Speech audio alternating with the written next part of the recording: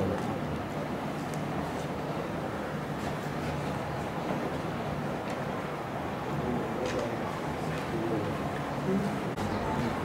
Press మిత్రులందరూ కూడా నమస్కారం.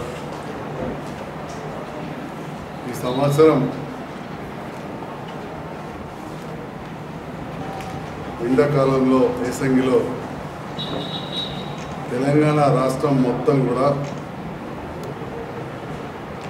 ఇరవై నాలుగు గంటల కరెంటు. ఎర్రటి ఎండలలో కూడా ప్రతి చెరువు నిండే విధంగా ప్రతి కాలువ పారే విధంగా మన ప్రాంతంలో ఎస్ఆర్ఎస్పి ఆయకట్టు చివరి ప్రాంతానికి కూడా నీళ్ళు వెళ్ళే విధంగా చర్యలు తీసుకోవడం వల్ల ఈ ప్రాంతంలో వరిధాన్యం అంట పోయిన సంవత్సరం కంటే కూడా దాదాపు ముప్పై నలభై శాతం ఎక్కువ పెరిగింది. అదేవిధంగా ఇరవై శాతం దిగుబడి ఎక్కువ వచ్చింది. ఇంతవరకు ఎన్నడూ చరిత్రలో లేని విధంగా పోయిన సంవత్సరం మూడు లక్షల ముప్పై ఆరు వేల క్వింటాలే రికార్డు స్థాయిలో ప్రొక్యూర్ చేస్తే ఈసారి నాలుగు లక్షల నలభై ఐదు వేల మెట్రిక్ టన్నుల ధాన్యాన్ని సేకరించడం జరిగింది. అంటే దగ్గర దగ్గర నలభై నాలుగు లక్షల క్వింటాల్. ఇది మన తెలంగాణ రాష్ట్ర ప్రగతికి నిదర్శనం. ముఖ్యమంత్రి గారి కృషి అదేవిధంగా స్థానికంగా మా గౌరవ మంత్రివర్యులు మా పెద్దన్న లాంటి నిష్కల్మషమైన వ్యక్తి మచ్చలేని వ్యక్తి మమ్మల్ని ఎల్లప్పుడూ దిశానిర్దేశం చేస్తూ ప్రతి కాలువకు పరిశుభ్రంగా ఉండాలి చెరువు నిండాలని చెప్పి చెప్తున్న ఈశ్వరన్న గారి కృషి కూడా అని చెప్పి తెలియజేస్తాము ఈ సంవత్సరం ఒకవైపు రికార్డ్ స్థాయిలో పంట పండితే దానికి తోడుగా దురదృష్టవశాత్తు మార్చి నెలలో ఈ అగ్గి తెగులు మిడవిరుపుడు అనే బిమారులు వచ్చాయి. ఆ విషయాన్ని శాస్త్రవేత్తలు చెప్పారు రైతులు చెప్పారు ప్రతిపక్ష నాయకులు కూడా ప్రస్తావించారు ఈ విషయంలో. అగ్గి తెగులు వచ్చినా మెడవిరుపు వచ్చినా కానీ అల్టిమేట్గా మనము ఈ సంవత్సరం నాలుగు లక్షల నలభై ఐదు వేల మూడు వందల డెబ్బై మూడు క్వింటాల్ వరి ధాన్యాన్ని సేకరించడం జరిగింది. రైతులు పెద్ద ఎత్తున పండిస్తున్నారు నీళ్ళు వస్తున్నాయి కరెంట్ వస్తుంది కాబట్టి. రెండు వేల పదహారు పదిహేడులో పదకొండు అరవై రైస్ మిల్లు ఉంటే ఇవాళ అదే మన జగిత్యాల జిల్లాలో అరవై రైస్ మిల్లు లేదు. కానీ దురదృష్టవశాత్తు కరోనా రావడం ప్రతి రైస్ మిల్ కూడా సీజన్ వస్తుందంటే బీహార్ నుంచి లేబర్ వస్తారు. వాళ్ళందరూ కూడా రైస్ మిల్లర్ చెప్పారు రెండు లక్షల రూపాయలు అడ్వాన్స్ ఇచ్చినాం వస్తారు సార్ తప్పకుండా అని చెప్పడం. కానీ ఆ తర్వాత మార్చ్ ఇరవై రెండు తర్వాత ఈ లాక్డౌన్ ఏర్పడడం దీనివల్ల మనకి లేబర్ రాలేదు. అయినా కానీ అలాంటి పరిస్థితిలో కూడా ఇక్కడ స్థానిక రైతులు స్థానిక కూలీలు అందరూ కూడా తలొచ్చే వేయబట్టి దాంతోపాటుగా ప్రజాప్రతినిధులు ఎక్కడికక్కడ పిఎస్సిఎస్ చైర్మన్లు కానీ సర్పంచ్లు కానీ వివిధ వర్గాల రైతు నాయకులు రైతు మంచి సంత నాయకులు అధికారులు అందరూ కూడా సమిష్టి కృషి చేయడం వల్ల ఇంత పెద్ద మొత్తం ఇవాళ సేకరించగలిగింది ఈ సేకరించిన తర్వాత తరుణంలో ఈ తాలూ తప్ప ఉన్నది. మాకు మళ్ళా రేపు అరవై ఎనిమిది కిలోలు ఇవ్వాలి. వర్కౌట్ అవుతుంది అని చెప్పి ఈ రైస్ మిల్లర్స్ అధికార పార్టీ నాయకులు మంత్రి గారి నుంచి పెడితే అందరినీ అదేవిధంగా ప్రతిపక్ష నాయకులు కూడా కలిసి ప్రతిపక్ష నాయకులు కూడా కలిసింది. దాంతో గౌరవ మంత్రివర్యులు ఈ తాలు తప్ప ఉన్న చోట మనము నలభై కిలోలు ప్లస్ సంచిది నలభై ఆరు అది ఆరు వందల యాభై గ్రాములు ఏడు వందల గ్రాములు ఉంటుంది. అంటే నలభై కిలోలు ఏడు వందల గ్రాములు ఉంటుంది. ఇంకొక కిలోలో కిలో పావు ఎక్కువ చోకూరి నలభై రెండు చేస్తే ఆ తాను తప్ప ఉంటే మనకు ఆ వెళ్ళిపోతుంది ఆ ఎండాకాలం పట్టులు అవన్నీ తిప్పలవుతున్నాయి అని చెప్పి చెప్పింది. దానికి ఒక భూతత్వంలో చూపెట్టి రికార్డును అని చూపెట్టి నిన్న జగిత్యాల సీనియర్ నాయకులు ఎమ్మెల్సీ గారు జీవన్ రెడ్డి గారు గౌరవ మంత్రివర్య గారిని మంత్రివర్యులను పొప్పులీశ్వరులను అప్రతిష్ట పాలు చేసే విధంగా మాట్లాడడం. కోట్లాది రూపాయల చేతులు మారేమని మాట్లాడింది. మరి ఈరోజు నేను అడుగుతా ఉన్నా ఈ తాలు తప్పను మన నిజామాబాద్ జిల్లాలో శని కావచ్చు. పార్లమెంట్ సభ్యులు అరవింద్ గారు కూడా యూట్యూబ్లో ఒకటి పెట్టారు. నేను రైతుల పక్షాన ఉన్నా చెప్పినా రైస్ మిల్లర్స్ను కట్టడి చేయమని చెప్పినా మరి అందరూ కూడా కిలో కూడా ఎక్కియద్దు.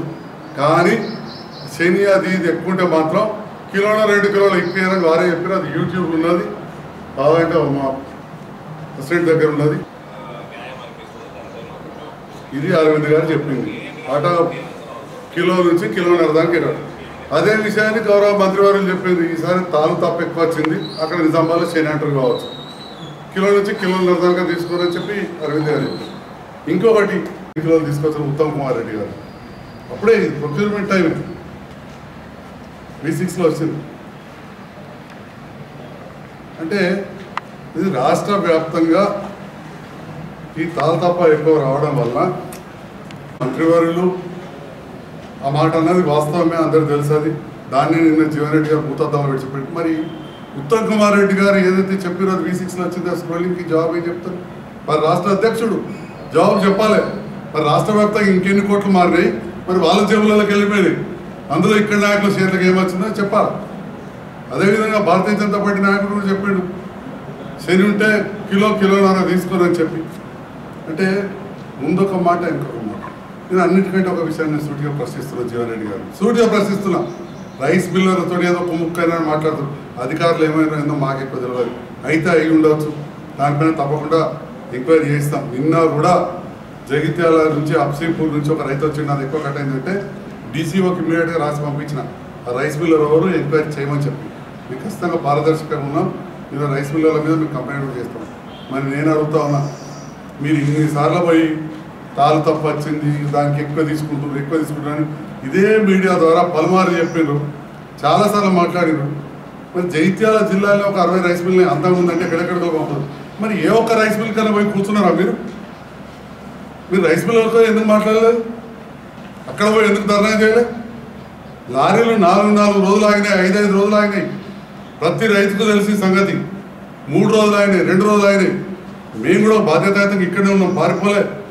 రైస్ మిల్లర్లను గట్టిగా మందలించినాం అధికారులను మాట్లాడినాం. మేము వెళ్ళి గౌరవ మంత్రివర్యులు ఈశ్వరాయనే కాకుండా పౌర సరఫరా శాఖ మంత్రి గంగుల కమలాకర్తో మాట్లాడితే జగిత్యాలకు స్పెషల్గా procurement deputy collector Amarender Reddy గారిని కూడా పంపించారు. అన్ని రైస్ మిల్లకి తిరిగి చేయాలని చెప్పినాం. నేను ఇవాళ జీవరెడ్డి గారిని అడుగుతున్నా ఈ కొప్పులు ఈశ్వరన్న గారి మీద మీరు అభాండం వేసే ముందు రైస్ మిల్లర్స్ ఏదో చేసిన అన్నప్పుడు మరి మీరు ఎందుకు ఒక్కనాడని ఒక్క రైస్ మిల్ దగ్గర పోయి కూర్చోలేదు? అంటే మీకు సంబంధించిన వాళ్ళు ఉన్నారా? నాకు తెలిసినంత వరకు అయితే ఎక్కువ మంది రైస్ మిల్లర్స్ కాంగ్రెస్ పార్టీకి అనుబంధంగా ఉన్న వాళ్ళే ఉన్నారు. మీకు ఖచ్చితంగా చెప్తాను వాళ్ళ బంధుమిత్రులు కూడా ఉన్నారు. మా పార్టీకి సంబంధం ఉన్న కూడా ఒకరిద్దరు ఉండొచ్చు వ్యాపారస్తులు అన్ని పార్టీలకు అనుబంధం ఉంటారు. మీరెందుకు పోలే? మేమంటే అధికార పార్టీల్లో అధికారుల ద్వారా ఖచ్చితంగా చేయాలని చెప్పి మంత్రి గారి దృష్టికి తీసుకెళ్ళినాం. అధికారుల దృష్టికి తీసుకు పదే పదే తీసుకెళ్ళినాం. రైస్ మిల్లర్లకు కూడా వార్నింగ్ ఇచ్చినాం. తీసుకోవాలని మేము అధికార పార్టీలో రోడ్డు మీద కూర్చోలేము. చీటికి మాడికి రోడ్డు మీద కూర్చుంటున్నారు కదా ఎన్నో సార్లు మరి ఇదే పని మీరు ఒక రైస్ మిల్ దగ్గరికి ఎందుకు పోలేదు నేను అడుగుతున్నా. మీకు వారికి ఏ సంబంధం ఉండే?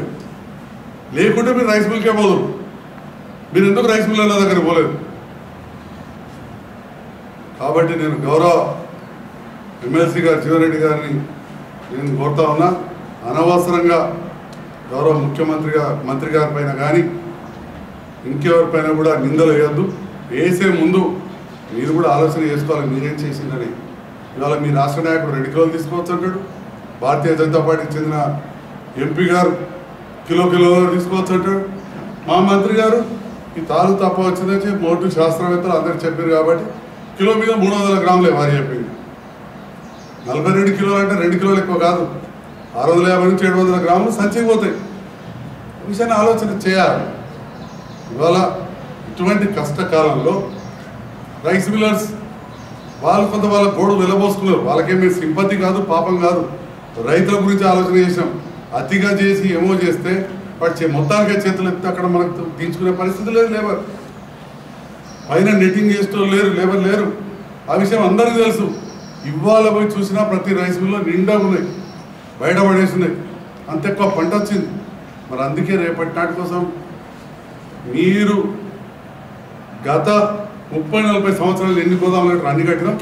రేపటి నాడు గోదాములు నిర్మించడానికి కూడా అన్ని ప్రయత్నాలు చేస్తున్నారు జగిత్యాల జిల్లాలో కూడా లక్ష్మీపూర్ వివిధ మండలాలలో కూడా యశవంతరావుపేట బలవంతాపురం అన్ని చోట కూడా మళ్ళీ ఒక పన్నెండు వేల మెట్రిక్ టన్ల గోదాములు నిర్మించడానికి ఇవన్నీ కూడా ఈ ప్రభుత్వం చర్యలు తీసుకుంటా ఉంది. ఎక్కడ కూడా స్థలం లేని పరిస్థితి. ఆ రకమైన పంట వచ్చింది ఊహించినంత పంట వచ్చింది. కాబట్టి నేను మీడియా ద్వారా రైతులను మరొకసారి కోరుతా ఉన్నా దయచేసి ఈ ప్రతిపక్ష నాయకులు ఏదైతే గౌరవ మంత్రి గారు గారి మీద కానీ లేకపోతే ఈ చోట మాట నాయకులు ఊర్లలో మా మండల అధ్యక్షుల మీద జడ్పీ చైర్మన్ గారు నన్ను అంటే నమ్మొద్దు. మేము మీ పక్షాన ఉన్నాం మేము వెంట ఉంటాం. ప్రతిసారి కూడా అందుబాటులో ఉన్నాం ఎక్కడికేదో పారిపోలేదు. ఏ రైతులు ఎక్కడ రైస్ మిల్ల లారీ ఆగిందన్నా కానీ ఖచ్చితంగా నేను ఫోన్ చేసినాం కొన్ని వందల ఫోన్లు మాట్లాడిన కాల్ రికార్డు ఉంటుంది. వాళ్ళని గట్టిగా మందలించడం ఎట్టి పరిస్థితుల్లో మీరు ఎక్కువ తీసుకోవద్దు చేయాలని చెప్పి వాళ్ళకు కూడా వాళ్ళు వినబూసుకున్నారు బాగా లేబర్ లేదు. లేదా ఫైన్ యావరేజ్ క్వాలిటీ ఉంటుంది ఎఫ్ఏక్యూ ఉంటుంది ఫేర్ యావరేజ్ క్వాలిటీ అని. దానికి వస్తలేదని చెప్పి వాళ్ళు బాధ వాళ్ళు చెప్పుకున్నారు. రైతుల తరఫున ఎప్పటికి కూడా మేము రైతుల పక్షాన ఉన్నాం. రేపటి నాడు కూడా ఉంటాం. మీరు ఇవాళ అనవసరంగా గౌరవ మంత్రివర్యులు అప్రతిష్ట పాలు చేసే విధంగా మాట్లాడద్దు. ఇవాళ మరి మీ రాష్ట్ర అధ్యక్షుడు ఉత్తమ్ కుమార్ రెడ్డి గారు వారు కూడా ఒక పరిస్థితుల్లో మరో రెండు కిలోలు ఎక్కువైనా నలభైకి రెండు రెండు తీసుకుని చెప్పిన వార్త మీడియాలో వచ్చింది. అరవింద్ గారు యూట్యూబ్లో పెట్టుకున్నారు. వారు యూట్యూబ్లో పెట్టింది కిలో కిలోన్నర ఎక్కువేయండి అనేది యూట్యూబ్లో ఉన్నది. కాబట్టి దీన్ని అనవసరంగా గౌరవ మంత్రివర్గ వారిని అప్రతిష్ట చేసే విధంగా మీ స్టేట్మెంట్ ఇవ్వద్దని నేను కోరుతూ ఇవాళ ఏదైతే ప్రభుత్వం ఎన్నో కష్ట నష్టాలు కోర్చి యుద్ధ ప్రాతిపదికల పద్దెనిమిది పంతొమ్మిదిలో నలభై తొమ్మిది వేల హెక్టార్ల పంటలు వస్తే ఈసారి తొంభై తొమ్మిది వేల హెక్టార్ల పంటలు పండించారు. అంటే దగ్గర దగ్గర ఎకరాలలో తీస్తే పోయిన సంవత్సరం దీనికి డబల్ విస్తీర్ణం మనకు అలా వరిధాన్యం పంట పండింది. కాబట్టి మరొకసారి తెలియజేస్తున్నా ఈ ప్రభుత్వం రైతుల పక్షాన ఉన్నది. ఇట్లాంటి పరిస్థితుల్లో దేశంలో ఎక్కడ లేని విధంగా దేశంలో ఎక్కడ లేని విధంగా దాదాపు డెబ్బై లక్షల మెట్రిక్ టన్నుల వరిధాన్యాన్ని ఒక్క మన తెలంగాణ సేకరించింది దేశం అంతా కూడా ఎంత సేకరించిందో అంత అరవై శాతం మనం సేకరించాం. ఒక్క జగిత్యాల జిల్లాల రైతులకు ఎనిమిది వందల కోట్ల రూపాయలు ఎనిమిది వందల కోట్ల రూపాయలు ఇవాళ వరిధాన్యంగా రైతుల ఖాతాలలో పడ్డాయి. రైతులందరూ కూడా సంతోషంగా ఉన్నారు.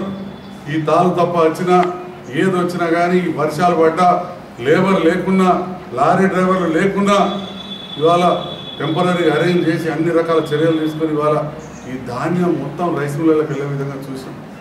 వేరే రాష్ట్రాలకు ఎందుకు పంప వేరే జిల్లాలకు ఎందుకు పంపలేదని ఒకసారి అడిగింది జీవన్ రెడ్డి గారు. వారు నోటి మాట అడిగింది కావచ్చు కానీ నేనైతే ఉత్తరమే రాసేటప్పుడు అసలు మరి ఇక్కడే అరవై ఉన్నాయి ఇంకా పంపండి చెప్పు చెప్పి. చాలా స్పష్టంగా నాకు రిప్లై రాసింది జాయింట్ కలెక్టర్ గారు. చుట్టుపక్కల ప్రతి జిల్లా వాళ్ళని అడిగినాం. రాష్ట్రం అంతా కూడా మరి మన ముఖ్యమంత్రి గారు ఒక జైత్యాలకే కాదా? మొత్తం ముప్పై మూడు జిల్లాలకు ముఖ్యమంత్రి. ప్రతి చోట ఇరవై నాలుగు గంటలు కరెంట్ ఇచ్చే ప్రతి చోట ప్రతి చోట కాలువలలో నీరు ఎక్కువ వచ్చేలా చూసే ప్రతి చోట చెరువులు నింపే. దీనివల్ల ప్రతి జిల్లాలో పంట ఎక్కువ పండింది. పోయిన వర్షాకాలం ఇక్కడ పంటను ముందే దూరదృష్టితో ఆలోచించి ఇక్కడ కొద్దిగా ఖాళీ ఉండాలని చెప్పి వేరే జిల్లాలకు పంపినాం మనం. వర్షాకాలం పంట నల్గొండ యాదాద్రి మిర్యాలగూడ సిద్దిపేట ఇవన్నీ మెదక్ ఇవన్నీ కూడా పంపడం జరిగింది. కానీ వర్షాకాలమే మనం పంపిన పంట ఉంది. ఈసారి యాసంగిలో ఎక్కువ మంది దొడ్డుబాట్లు వేసి దాంతో వేరే చోట్ల పంపే పరిస్థితి రాలేదు. మరి ఇంతటి క్లిష్ట పరిస్థితులలో ఇవాళ ఇంత జిల్లాకు సారథ్యం వహిస్తూ కొప్పుల ఈశ్వరన్న గారు ప్రతి విషయంలో అండగా ఉంటూ ధాన్యం సేకరణలో కూడా వారు ఎంతో చొరవ చూపితే వారిపైన ఆ మాటలు వేసే విధంగా ఓ రికార్డు చూపెట్టి అన్నాడు కిలో కిలోన్నర దీనికి లెక్కలేసి ఇన్ని కోట్లు ఏడిపోయినాయి అంటే మరి వీళ్ళు అంటున్నారు వీళ్ళ జేబులకి ఎన్ని కోట్లు పోయినాయి? మీ ఉత్తమ్ కుమార్ రెడ్డి రాష్ట్ర వ్యాప్తంగా చెప్పిండు మీ రాష్ట్ర అధ్యక్షుడు. జగిత్యాల జిల్లాకే మాట్లాడితే రాష్ట్ర వ్యాప్తంగా ఎన్ని పోయినాయి? మరి పార్లమెంట్ స్థాయిలో ఒక జాతీయ స్థాయి పార్టీ జాతీయ స్థాయిలో అధికారంలో భారతీయ జనతా పార్టీ ఎంపీ గారు వారు అదే మాట్లాడారు శని కాకపోతే కిలో కిలోన్నర తీసుకోమని. మనం చెప్పింది కూడా మంత్రి గారు చెప్పింది కూడా అంతే. క్వాలిటీ లేకపోతే కిలోమీటర్ మూడు వందల యాభై గ్రాములు ఎక్కువ తీసుకోమని చెప్పి చెప్పడం జరిగింది. అంతే తప్ప ప్రతిదానికి తీసుకోమని వారు కూడా ఎక్కడ చెప్పలేదు. క్వాలిటీ లేని దానికే తీసుకోమని చెప్పడం జరిగింది. రైస్ మిల్లర్స్ మాత్రం నేను ఇవాళ కూడా చెప్తున్నా కొంత వారు ఏదైతే మన ఒత్తిడి ఉందో రైతుల నుంచి వరిధాన్యం ఎక్కువ పండిందో వ్యాపారస్తులు కొంత ఇబ్బంది పెట్టిన మాట మాత్రం వాస్తవం రైతులు. ఈ విషయాన్ని కూడా నేను మీడియా ద్వారా చాలాసార్లు చెప్పిన. మళ్ళీ ఈరోజు కూడా చెప్తున్నా. కానీ ఆ జరిగిన నష్టానికి కొప్పుల ఈశ్వరన్న గారినో లేకపోతే ఇంకే నాయకుల్లో ఎవరినో బాధ్యులు చేయొద్దు అనవసరమైన నిందలు వేయొద్దు. ఇలాంటి నిందలు వేస్తే మేము కూడా మీకు ఒకటికి నాలుగు సార్లు మీకు కూడా మీ పైన కూడా నిందలు వేయాల్సి వస్తుంది. ఎందుకంటే మీకేం చక్కగా లేరు. అందరూ అన్ని పార్టీల వాళ్ళు అందుకే అంతే. మీరు అందరూ కూడా మీ ఉత్తమ్ కుమార్ రెడ్డి గారు మాట్లాడారు. మేము ఇట్లాంటి మా ముఖ్యమంత్రి గారిని అనవసరంగా అప్రతిష్ట పాలు చేస్తే ఊరుకోమని చెప్పి కూడా హెచ్చరిస్తాం.